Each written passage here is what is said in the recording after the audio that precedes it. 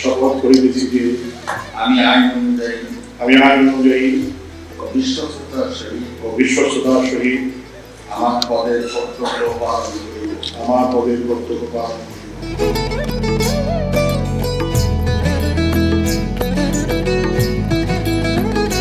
গণপ্রজাতন্ত্রী বাংলাদেশের সংবিধানের পঁচানব্বই অনুচ্ছেদে এক দফা অনুযায়ী মহামান্য রাষ্ট্রপতি, বাংলাদেশ সুপ্রিম কোর্টের আপিল বিভাগের বিচারক, মাননীয় বিচারপতি জনাব ওয়াইদুল হাসানকে বাংলাদেশের প্রধান বিচারপতি পদে নিয়োগ দান করেছেন।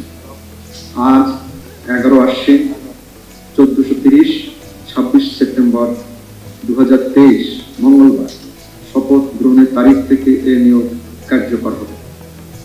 আমি এখন নবনিযুক্ত মাননীয় প্রধান বিচারপতি জনাব ওবায়দুল হাসানকে শপথ গ্রহণের জন্য মঞ্চে আসার সবিনয় অনুরোধ জানাচ্ছি।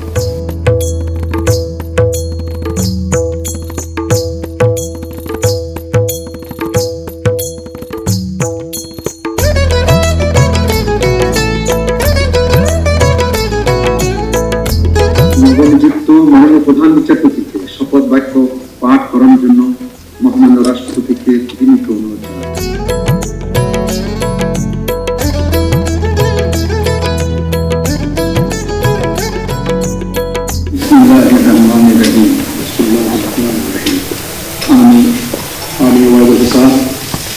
বাংলাদেশের প্রধান বিচারপতি নিযুক্ত হইলে বাংলাদেশের প্রধান বিচারপতি নিযুক্ত হইলেন সশ্রদ্ধ চিত্তে সশ্রদ্ধ চিত্তে শপথ করিতেছি যে শপথ করিতেছি যে আমি আইন অনুযায়ী আমি আইন অনুযায়ী ও সহিত আমার পদের কর্তব্য পালন করিব।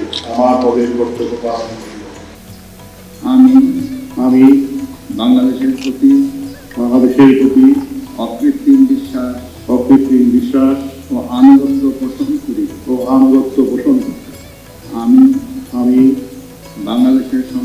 বাংলাদেশের সংবিধান আইনের রক্ষণ ও আইনের রক্ষণ সমর্থন সমর্থন ও নিরাপত্তা বিধান করি। ও নিরাপত্তা বিধান করি।